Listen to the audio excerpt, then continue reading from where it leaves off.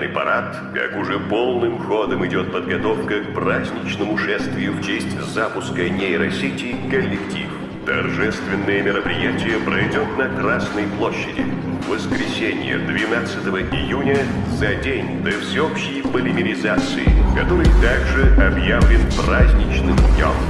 Вместо военной техники по улицам пройдут все доступные модели роботов. В небе вместо авиации поднимутся дроны и сипухи со специальной пилотажной программой. Парад будет транслироваться по всем теле- и радиоустройствам.